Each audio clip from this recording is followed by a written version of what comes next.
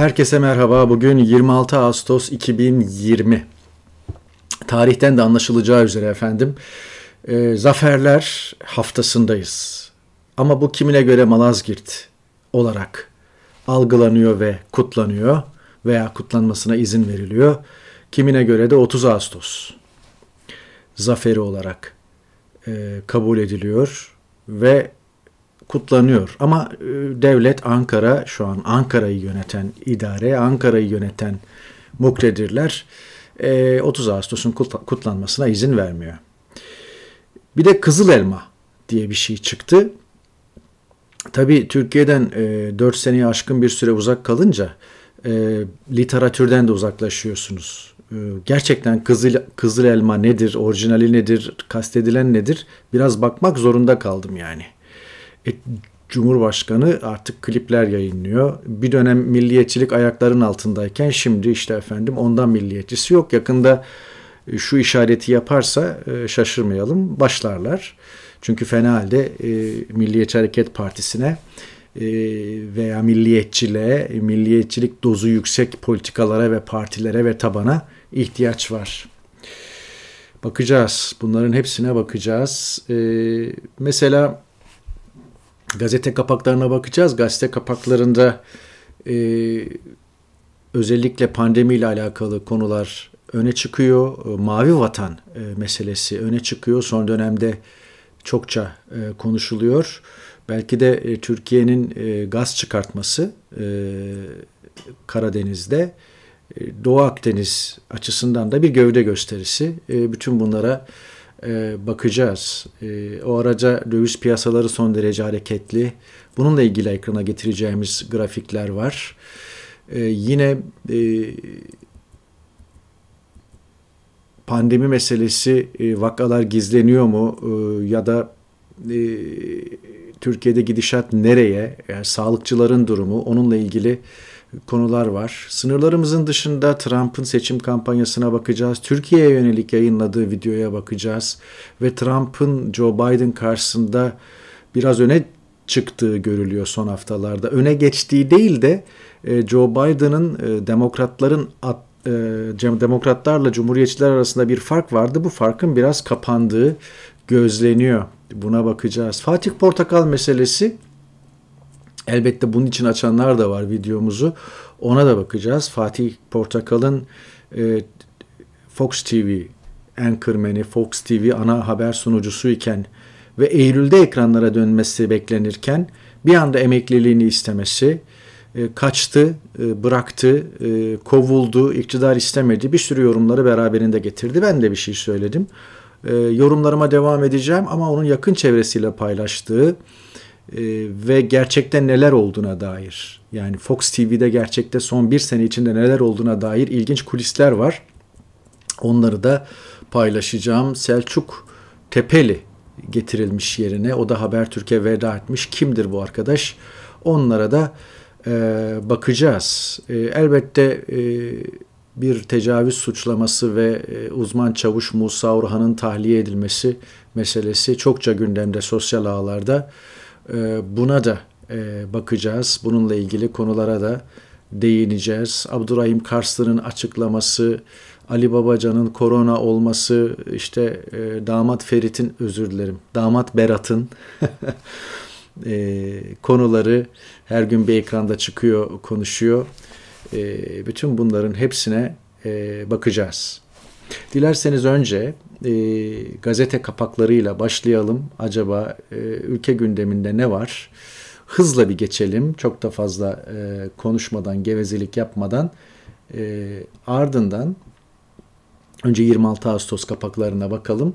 Ardından e, gündeme ilişkin yorumlarımızı sıralayacağım.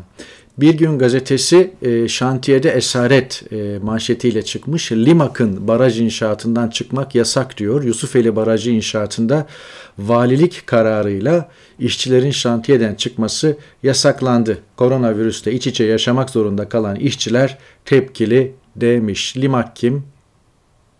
Limak Colin Cengiz. Erdoğan'ın şirketleri Limak adı altında, Colin adı altında, Cengiz adı altında üç farklı patron 400 günlük isyan diyor. Bütçesizlik salgının yükünü çeken kamu hastanelerini iflas noktasına getirdi. Alacaklılar sırada Cumhuriyet'in e, başlığı daha çok son dönemde kamu hastanelerinin ilaç dışı tıbbi malzemeyi ihale yasası kapsamında tedarik ettiği özel sektöre aylardır ödeme yapamaması üzerine kurulu. Bakalım iş nereye gidecek? Evrensel Sür manşetinden gazeteciye ajanlık telkini alçaklıktır, e, suçtur e, başlığını atmış. Son derece ağır bir iddia. E, Diyarbakır temsilciliğinde görevli e, Cengiz Anıl Bölükbaş kendilerini polis olarak tanıtan 3 kişi tarafından ikna edilmek üzere alıkonulmuş efendim. Kendisine ajanlık dayatılmış e, ve e, genel yayın yönetmeni Fatih Polat Evrensel'in gazeteciye ajanlık telkini alçaklıktır, suçtur diyor. Ve Evrensel bu konuyu sürmanşetinde sürdürüyor. Yeni Mesaj gazetesi korkulan mı oluyor manşetiyle çıkmış. Şu ana kadar 817 binden fazla insanın ölümüne neden olan koronavirüs salgınında ilk ger bir ilk gerçekleşti. Hong Kong'da iyileşen bir hasta 4,5 ay sonra yine salgına yakalanmış. Evet buna da bakacağız. Yeni çağ iktidarın e, ortağı değil ama e, görüyorsunuz iktidara nasıl destek veriyor. İktidarın ortağı değil derken hani muhalif takılan bir gazete İyi Parti'ye yakın Meral Akşener siyasal hareketine şahlan artık ey deniz demiş. Yani yarın öbür gün zaten e, bir kıvılcım çakmak üzere Doğu Akdeniz'de çok gerginleşti. Ee, ve Türkiye asla geri adım atmıyor. Alman Dışişleri Bakanı geldi. Onu da onun aracı, ara buluculuğu da kabul edilmedi. Ee, bir şeyler olacak öyle görülüyor. Yakın zamana kadar pek ihtimal vermiyordum Doğu Akdeniz'de bir sıcak e, münasebet olacak olabilir mi diye. Ama e, son haftalar, son günler e, bu görüşümü değiş bu görüşümü değiştirmeme yol açtı. Enteresan bir noktaya doğru gidiyor. E, Türkiye Avrupa Birliği, Avrupa devletlerine karşı bir tür e, pazarlık unsuru olarak kullanıyordu belli şeyleri. İç kamuoyuna da izah etmek için Karadeniz'de gaz bulundu. Ee, ve işte böylelikle de Doğu Akdeniz'deki sismik faaliyetler, sondaj gemilerinin orada faaliyet göstermesini halk ya orada da arayacağız belki orada da gaz vardır falan diye kabullendi. Bir de bunu böyle iç politik anlamda böyle de değerlendirmek lazım. İşler iyi gitmiyor onu söyleyeyim. Şu anda e, Türkiye bir anlamda burnunun dikine doğru gidiyor. Ha peki Yunanistan ve Batı çok mu masum? Hayır değil. Bakacağız. Dünya Gazetesi'nde hiçbir şey yok. Ee, işte teşviklerden e, vesairelerden falan bahsediyor ama esasen haberleri sağ e, sütunda saklamış gerçek haberleri. Mesela diyor ki perakendeci mağaza kapatıyor, dijitalde doğan mağaza açıyor. Faiz geldi, geç likidite penceresine dayandı. Bunlar güzel zamanlar. İşte kredi genişlemesini kapsayıcı biçimde sürdürmenin yolu filan. Evet, başlıklarda işi bitirmiş ama e, gazetenin manşetinde ve altında bunları görmüyor. 100 günde geri döndü demiş karar sür manşetten. Kademesiz normalleşme ve teşvikli tatile bir de sokağın rehaveti eklenince vaka sayıları endişe veren boyuta ulaştı. Bir de maske ile ilgili bir detay var efendim. Maskeyi üflediğinizde şişmiyorsa o maske işe yaramıyor demekmiş. Yani gözenekleri açık ve hava üflediğinizde hava o gözeneklerden çıkmayacak. Yani üflediğinizde o maske balon gibi şişecekmiş efendim. Böyle de bir kriter varmış. Yeni Asya karikatürü İbrahim Özdabak imzalı Uygurlara yapılan Çin zulmüne neden sessiziz? Göktürkler, Uygurlar, Oğuzlar, Peçenekler, Türk'ün yüce tarihine bin bir zafer ekler. Kesmehteri, kesmehteri diyor. Arkadan koşan şahıs. Gerçekten öyle bu kızıl elma ideolojisi bambaşka bir şey. İşte yayılmacılığı anlatıyor, fetihleri anlatıyor Herkes bir kulp takıyor. Osmanlı özellikle son dönemde Diriliş, Payitaht gibi dizilerde de çokça bahsedilmiş.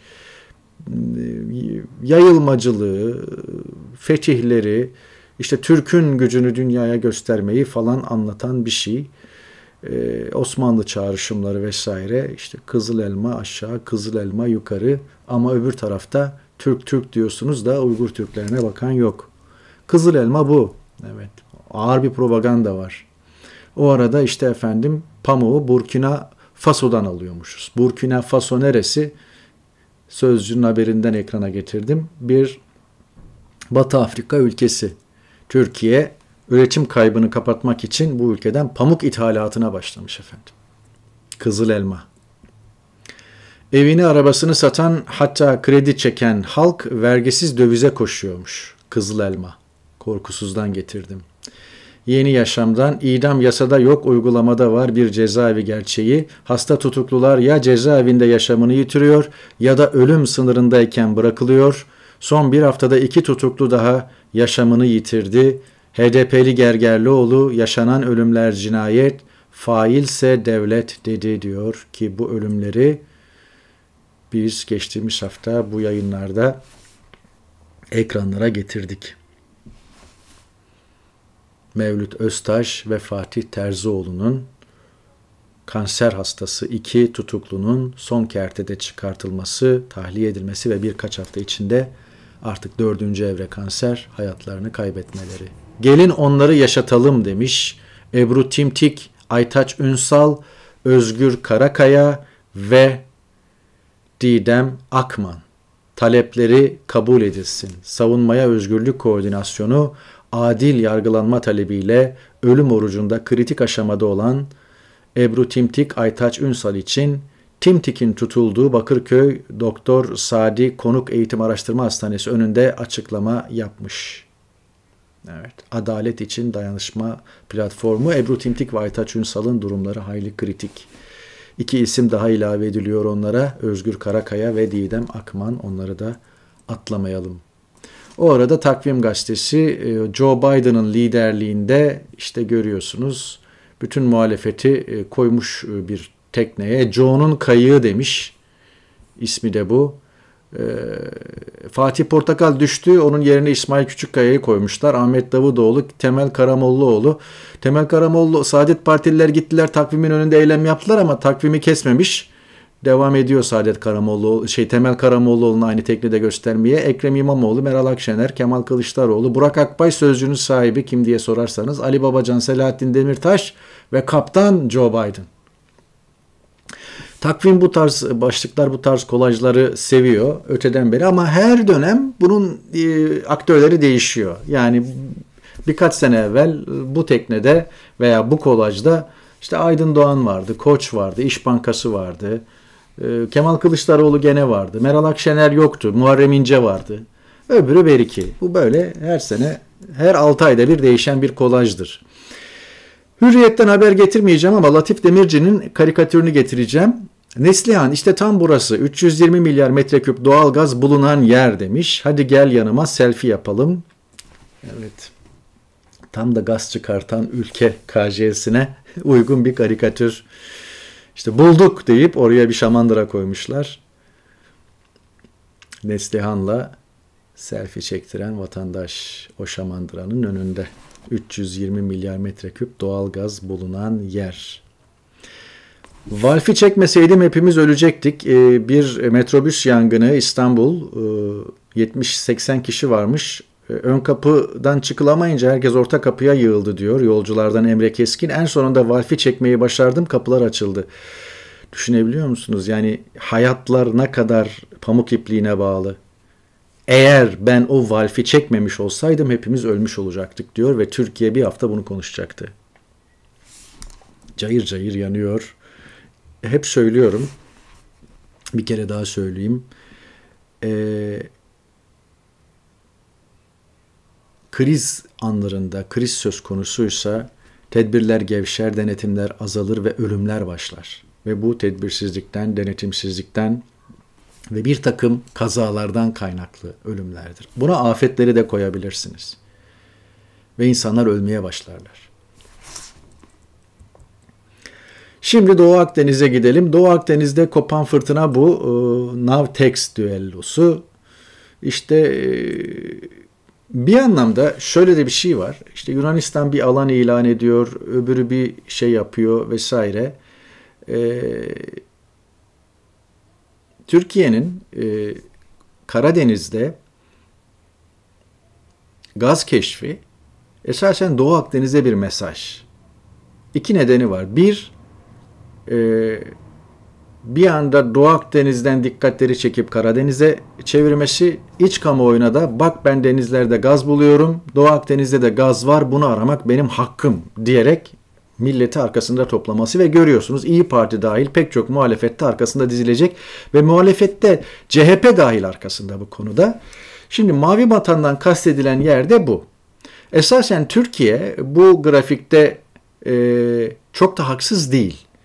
E, nedeni şu, şimdi görüyorsunuz yukarıda Karadeniz, Karadeniz'de kıta sahanlığı tam ortadan ikiye bölüyor denizi. Yukarısı Rusya'nın, e, Romanya'nın, Bulgaristan'ın suları, Gürcistan'ın. Burası da Türkiye'nin karasuları. Karadeniz'de bir ihtilaf yok. Olmadığı için de şu bölgede e, batı bölgelerinde e, gaz bulundu. Marmara zaten bir Türk denizi. Şimdi e, Ege söz konusu olduğunda diyor ki bu denizi Yunanistan'la aramızdaki Yunanistan ana karasıyla Türkiye ana karası ortasından ikiye keselim diyor. Adaların diyor bir şeysi yok. Aynı şekilde Kıbrıs'ta da. Mavi, mavi vatan e, meselesi bu. Şimdi e, çok da haksız değil. Benzer örnekler şeyde de var. E, mesela e, Manş Denizi dediğimiz İngiltere ile Fransa arasındaki denizin veya kanalın İngiliz Channel diye geçiyor. O İngilizler İngiliz kanalı diyorlar oraya e, o Manş Denizi'ni de kıta sahanlığı tam ortadan ikiye bölünmüş durum, durumda. Yani kanalın ortadan bir ip çektiğinizde, çizgi çektiğinizde yukarısı İngiltere karasuları, aşağısı Fransa karasuları. Ama o karasuların altında Fransa'ya çok yakın mesela Jersey adası var. Birkaç ada daha var İngiliz e, İngiltere'ye bağlı, Birleşik Krallığa bağlı. Orada mesela ya benim orada adalarım var deyip İngiltere kendi kıta sahanlığını Fransa kıyılarına kadar götürmüyor. Şimdi e, burada e, Yunanistan'ın Türkiye kıyılarına yakın adalarının olması Türkiye kıyılarının hemen e, dibinde Yunanistan'ın kıta sahanda olmasına anlamına gelmiyor. O konuda esasen Yunanistan çok haklı değil. Yani e, ana karaya yüzlerce mil uzaktaki Meis adası hemen Kaş'ın karşı, karşısında diye bir kilometre, bir buçuk kilometre açığında Kaş'ın. Ve Anakara'ya çok daha uzak. Zaten Meis Adası bütün ihtiyacını da Türkiye'den karşılıyor. Şimdi Meis Adası orada diye ki Meis burası. İşte görüyorsunuz.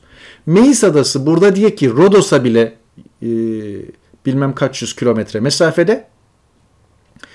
E, Meis Adası burada diye e, kıta sahanlığını siz bu şekilde Meis'in çevresinden dolandırıp geçiremezsiniz yani. Anlatabiliyor muyum? Yani orada o Meis adası olabilir. Ee, çok çetrefil bir mesele ve bu meselenin içinden çıkır, çıkılamamış. Bu yeni bir mesele de değil. 40-50 yıllık, 60 yıllık, daha 1950'lere Adnan Menderes Demokrat Parti dönemine kadar gidiyor. İkinci Dünya Savaşı'ndan sonra 12 adalar meselesi, öbürü bir iki paylaşım derken bir türlü içinden çıkılamamış bir konu. Her defasında da Yunanistan'la Türkiye'yi karşı karşıya getiriyor. Yunanistan haklı değil. Hele işte kıta sahanlığının 6 milden 12 mile çıkarılması durumunda Ege tamamen bir Yunan gölü haline geliyor filan. Orada bu iş adalar üzerinden götürülecek bir şey değil. Orada daha e, aklı selim ve serin kanlı bir kıta sahanlığı çizilmesi gerekiyor. Aynı şey Akdeniz için de geçerli. Yani siz Yunanistan kıta sahanlığını Meis'ten dolandırırsanız falan veya işte Kıbrıs'ı, Kuzey Kıbrıs'ı yok hiç hiçe sayarak Kıbrıs'ın çevresi de bizim falan derseniz işin içinden çıkılmıyor. Türkiye'de buna hayır diyor. İşte buradan kopuyor. Ee, işte mavi matan meselesi de böyle çıkıyor. Yeni bir hikaye değil. Geriye doğru 50-60 yıllık mazisi var. Ama işin içinden çıkılabilmiş mi? Çözüm bu mu? Yani sürekli olarak e, Doğu Akdeniz'de sondaj gemilerini dolaştırmak, orası benim filan işte ne bileyim jetlerin it dalaşı yapması, gemilerin birbirine paralel geçmesi, birbirine çarpmasına ramak kala falan kurtarmaları bu mu? Değil. Ee, bakalım iş nereye gidecek? Gerçekten e, biraz iş olay e, sarpa sarıyor gibi duruyor. Evet. Mavi vatan meselesi de bu efendim. Evet. Bir başka kupürle devam edelim. Maskeyi yüzlerine değil plakalara taktılar. Bunu da gördük diyor. Daha önceki yayında kafasına maskeyi takan bir vatandaşı getirmiştim. Bunlar da işte motosikletlerinin plakalarına takmışlar maskeyi. Plakaları kapatıyorlar belli ki. Zaten kaskları da yok. Cezadan kaçmak için yapılan bir şey anladığımız kadarıyla. Dönelim e, TR 724'ün manşeti vaka, vaka sayısı 1500'ü aştı. Uyarı yetmez önlem şart. E, vefat sayısını da 24'e çıkartmış. Sağlık Bakanlığı açıklamasında. 20'lerde 22'lerde seyrediyordu. E, vaka sayısı 1500'ü aştı ki bunlar resmi rakamlar. Çok daha e, farklı e, şeyler e, söz konusu. E, mesela ben e, o konuyla alakalı Hmm, yeni e, şeylere düşen e, bilgileri paylaşacağım sizinle. Mesela Hüseyin Per, Doktor Hüseyin Per paylaşmış.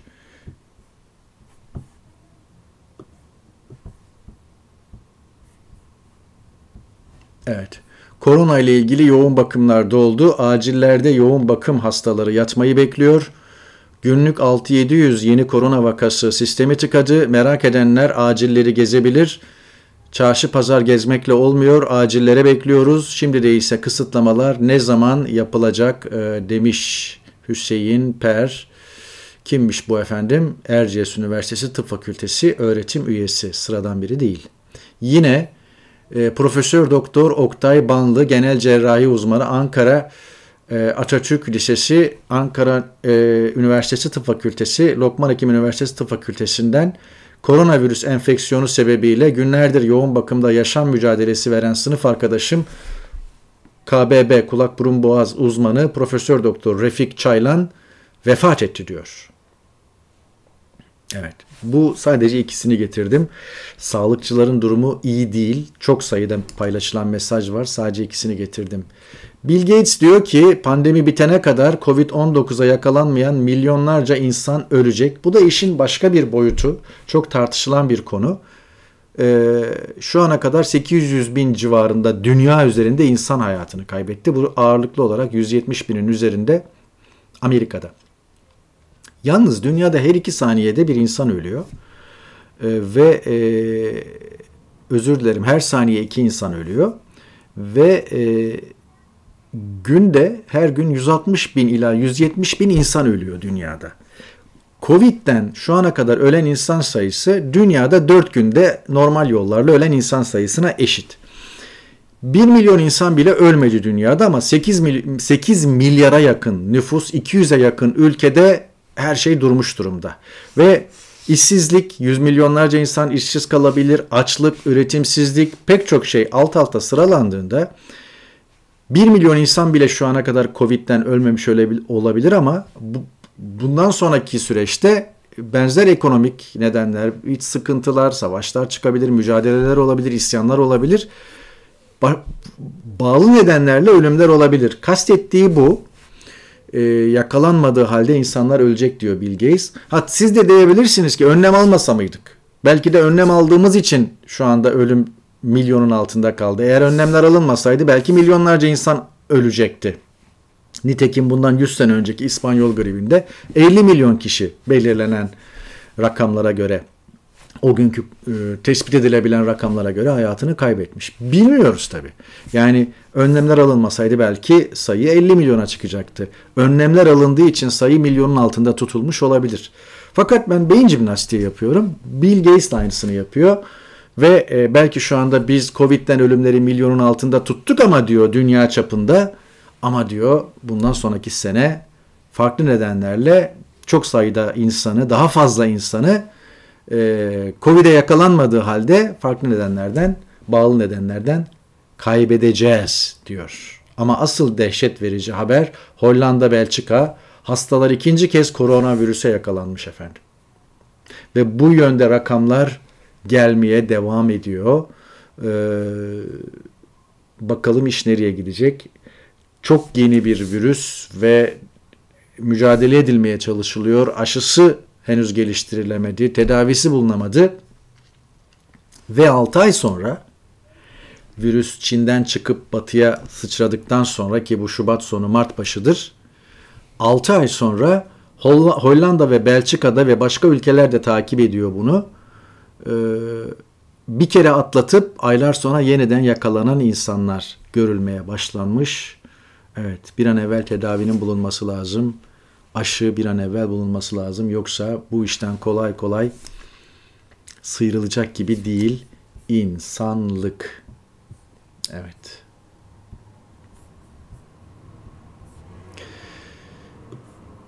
Bu Covid meselesini de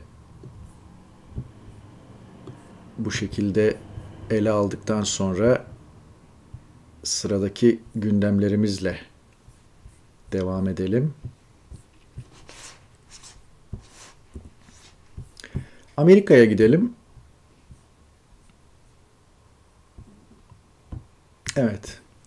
Bu fotoğraftaki şahıslar Mark ve Patricia McCloskey. Black Lives Matter denen e, siyahların hayatı değerlidir eylemleri. Amerika'da bir e, siyahın e, boynuna polisin ayağıyla diziyle bastırması sonucu ölümüne yol açmasıyla eylemler başlamıştı. Ve bu eylemler devam ediyor hala. İlk aylardaki şiddeti biraz düştü ama halen devam ediyor. Yakınlarda yine bir siyah vuruldu ve onun üzerine gene başka protesto eylemleri başladı. Bu çift e, evlerinin önünden geçen eylemcilere bu şekilde mukabele etmişlerdi. Adamın elindeki tüfeği, kadının elindeki tabancayı görüyorsunuz ki bunlar yasal. Bu e, Mark ve Patricia e, Cumhuriyetçi Parti'nin e, kongresinde de bu şekilde e, bağlandılar efendim ve e, Trump'a e, şeyle destek verdiler e, ne diyeyim ben size e, kampanyasında e, destek verdiler. Ve dediler ki e, onu da söyleyeceğim. Evet. Dediler ki Donald Trump e, Tanrı tarafından evlerinizi ve ailenizi koruma hakkınızı gözetecek aileleriniz e, radikal demokratların gündemiyle güvende olmayacak. Yani diyorlar ki e, demokratlar radikal ve e, Trump Tanrı'nın bir işareti, Tanrı'nın bir elçisi. Evet Amerika'da da durumlar çok farklı değil görüyorsunuz bu çift. E, bu çift üzerinden Trump bir propaganda yapıyor ve e, bu çift gibi e, milyonlarca insan var silahlanma hakkı ve işte insanların e, kendi mülkünü, arazisini koruması Amerika başka bir dünya ve orada başka değerler var.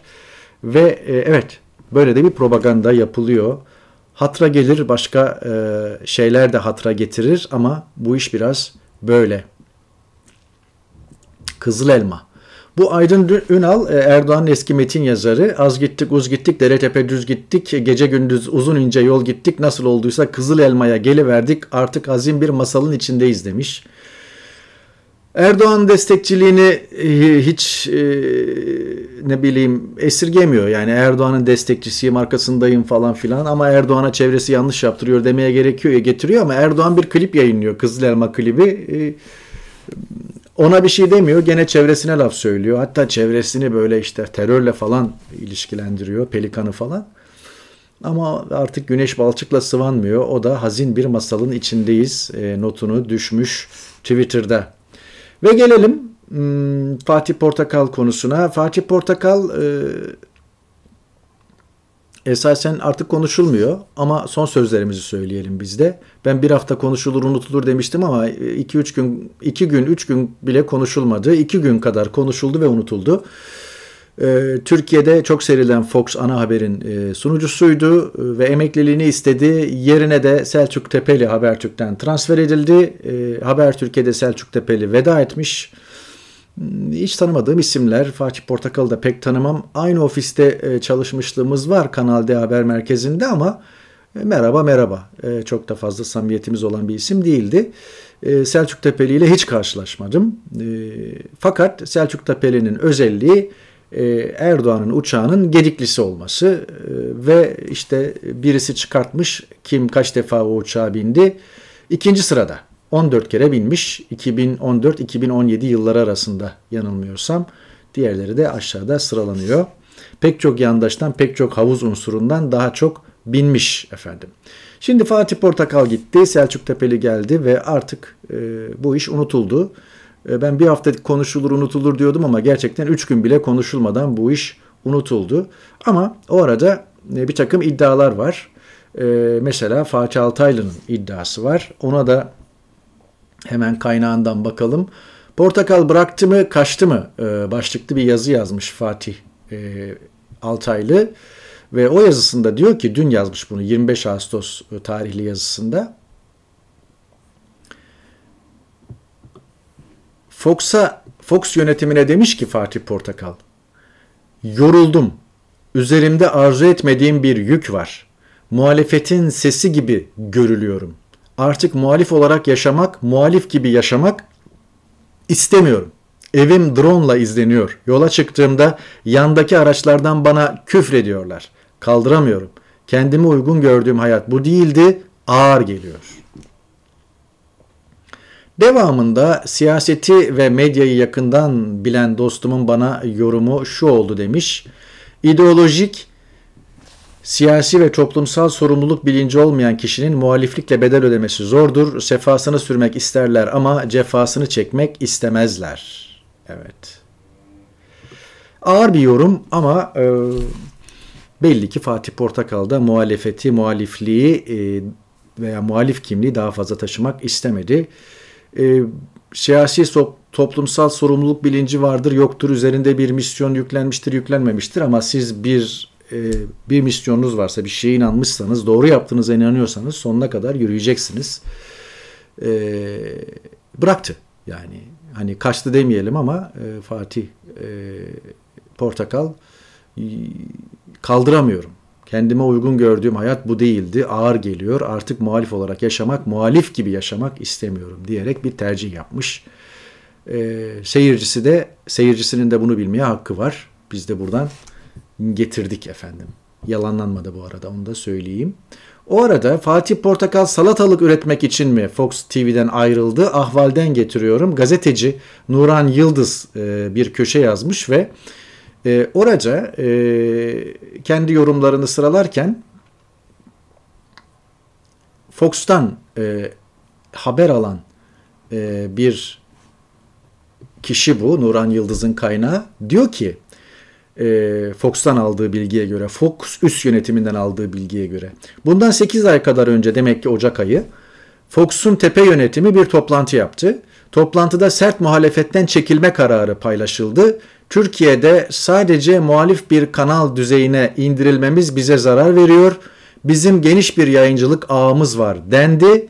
Fatih Portakal'la yolları tatlı tatlı ayırmaya karar verildi. Yani biz kocaman bir kanalız, bir sürü yayınlar yapıyoruz. 45 dakika ana haber bültenimiz var. Onunla bizi e, biz sıkıntı çekiyoruz. Vazgeçelim bundan kardeşim ve e, ticari televizyonculuğumuza devam edelim.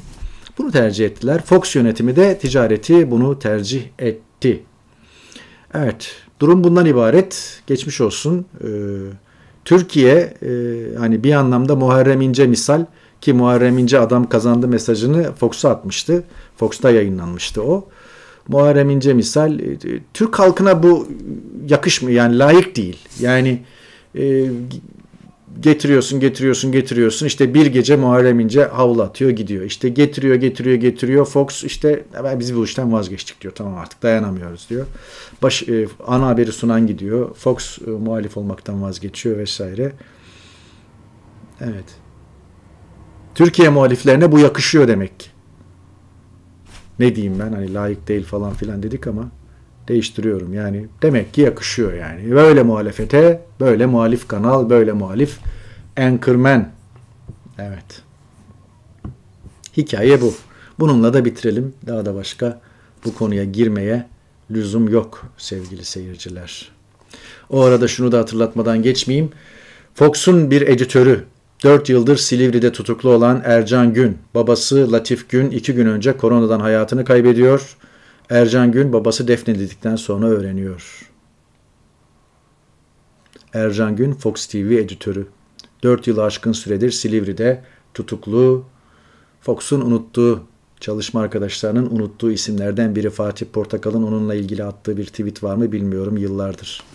Belki ilk tutuklandığı sırada belki bir iki tweet attılar ama sonra unuttular arkadaşlarını. Aa işte bir başka tip Başlığımız da bu. nitelikli cinsel saldırı suçlamasıyla tutuklanan uzman çavuş tahliye edildi. Bunun çok fazla bir önemi yok. Ee, niye biliyor musunuz? Çok yorum var. İşte devlet tecavüzcüsünü koruyor, öbürü belki bilmem ne vesaire. Bir duvar yazısı Twitter'da da paylaşmıştım, kaynağını da paylaştım şu anda hatırlamıyorum. Adaletin gözleri adil olsun diye bağlıdır, namussuzlara göz yumsun diye değil. Evet ama Türkiye böyle. Bu şahıs üzerinden daha evvel Süleyman Soylu'nun İçişleri Bakanı attığı tweet de var. Yani HDP'liler orada dururken filan.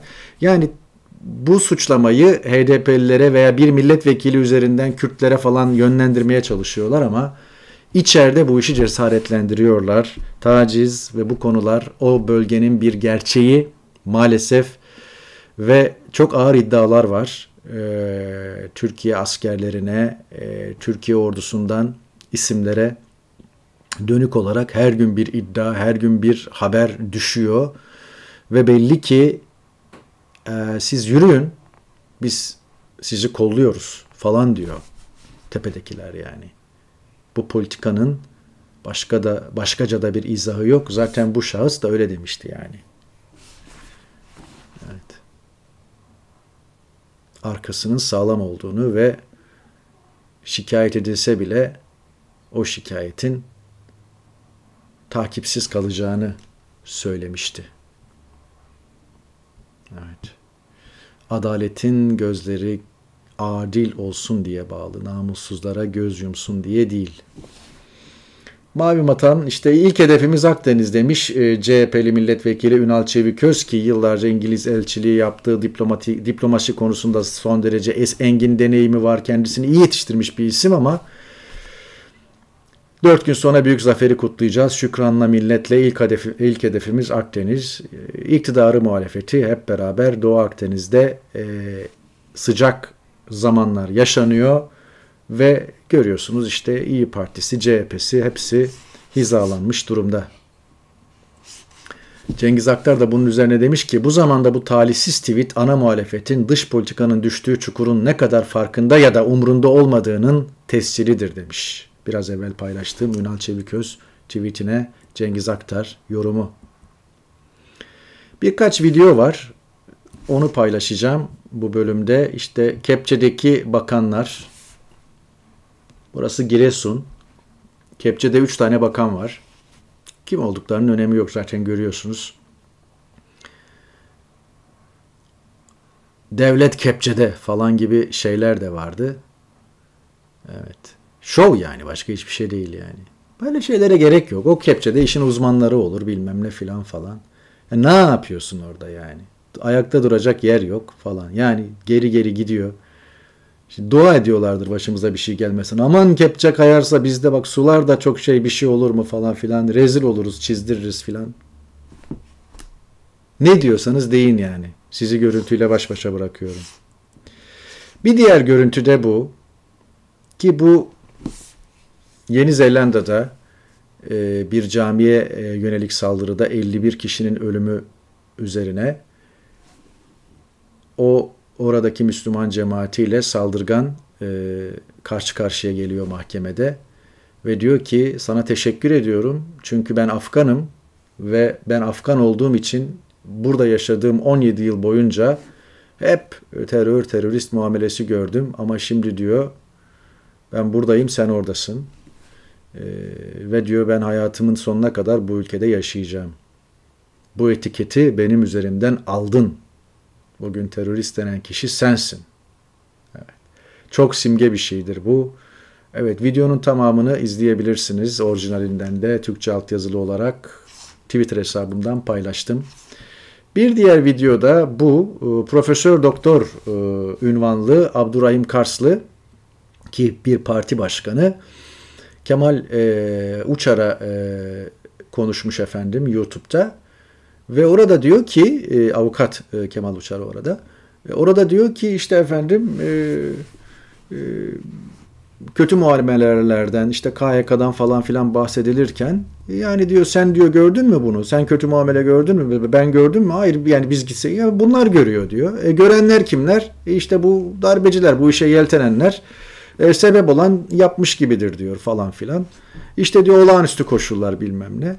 Yani lafın gelişinden gidişinden niyet falan okumuyorum. Bazıları e, Karslı'nın e, karşı çıktığını esasen kötü muameleye, insan hakkı ihlallerine söylüyorlar. Evet lafın önünde ve sonunda karşı çıkıyor. Fakat niyet okumuyoruz yani. Öyle şeyler söylüyor ki ama fakat koyuyor belli cümlelerin sonuna. O amayı fakatı koyduktan sonra ya Türkiye'de işte işkence oldu ama falan dediğinizde o olay gidiyor zaten. Yani onlara bu konuya amasız ve fakatsız itiraz edeceksin. Hiçbir hafifletici sebebi yoktur bu işin yani. Açın bakın ben de paylaştım. Ee, zaten videoyu seyrettiğinizde kişinin iyi niyetli olmadığı hatta kötü niyetli olduğu da net görülüyor. Bir videoda e, işte ana haber bülteni yapsaydık Türkiye'de ben bugün bu videolarla herhalde açardım e, ana haber bültenini. Türkiye'de artık ana haber bülteni de kalmadı. Bakmayın Fox da ana haber bülteni yapıyor olsa da bu videolarla açmazdı. Fox işte zararsız alanda muhalefet yapan bir ana haber bülteniydi. Trump paylaştı efendim bunu. Ve e, Amerikalıları rehin tutukları, tutuldukları ülkelerden kurtardığını söyledi. Mesela Kuzey Kore var bunun içinde vesaire. Ve aynı şekilde Rahip Bronson var. Ve Rahip Bronson'u da orada oturuyor en soldaki kişi. E, ve e, Türkiye şey Erdoğan'a teşekkür ediyor ama bugün Cumhuriyet dahil gazeteler Erdoğan'a teşekkür etti diye çıkmış.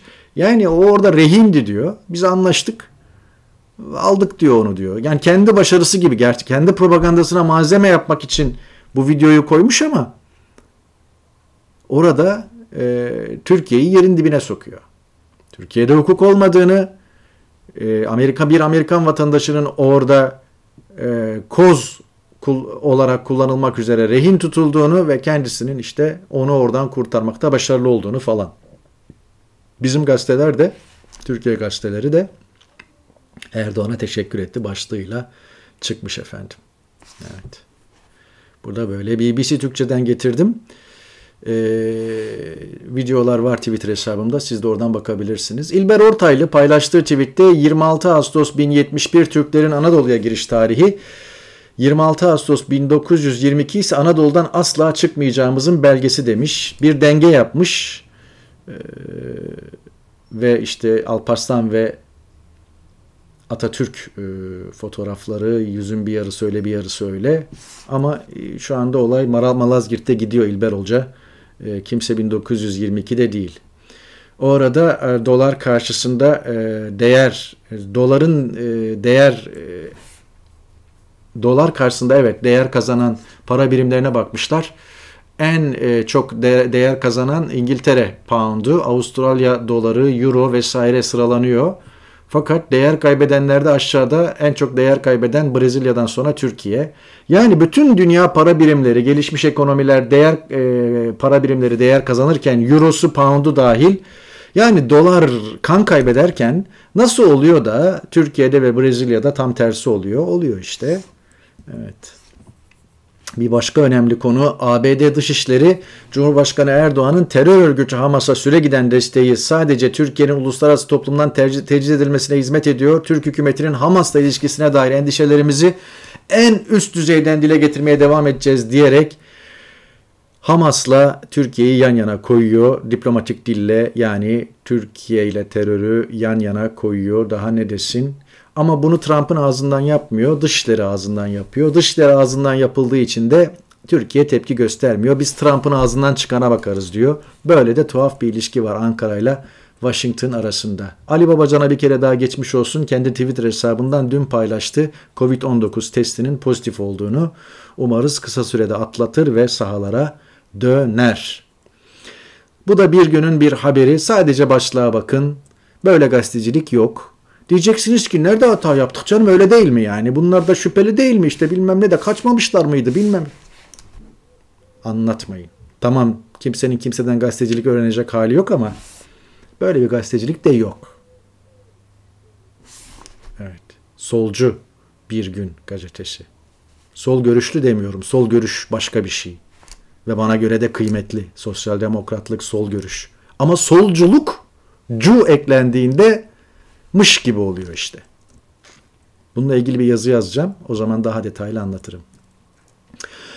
Günün tweetlerinden biri e, Melik Gökçek demiş ki işte Berat Bakanım falan filan böyle Berat Bakanı gazlayacağım derken hele bir kel kafa var çıldıracak şimdi diyor. Kastettiği Süleyman Soylu ama daha sonra Süleyman Soylu'yu da yalalı, yalayıp yutuyor. Kimi kastedecekti? Sonra da demiş ki ya ben Faik Öztürk'ü kastettim ama Faik Öztürk kel değil ki. Neyse.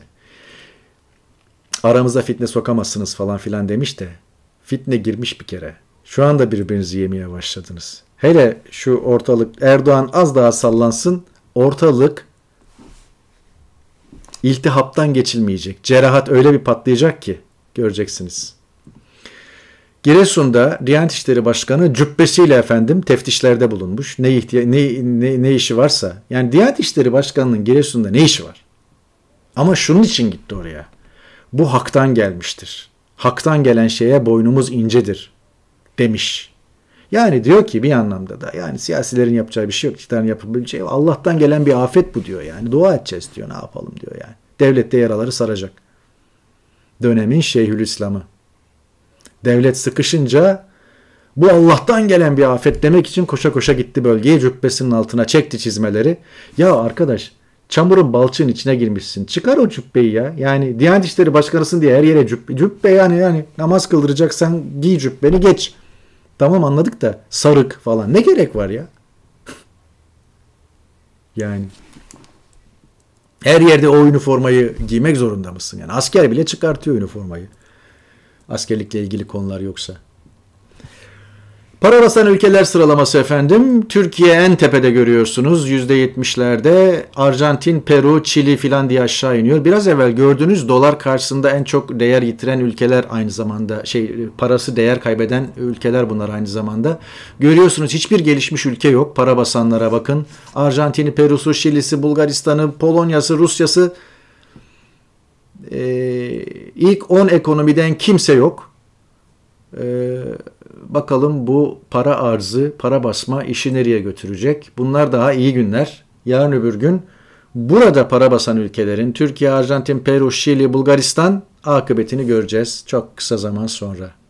Bloomberg yayınlamış efendim bu listeyi. Evet.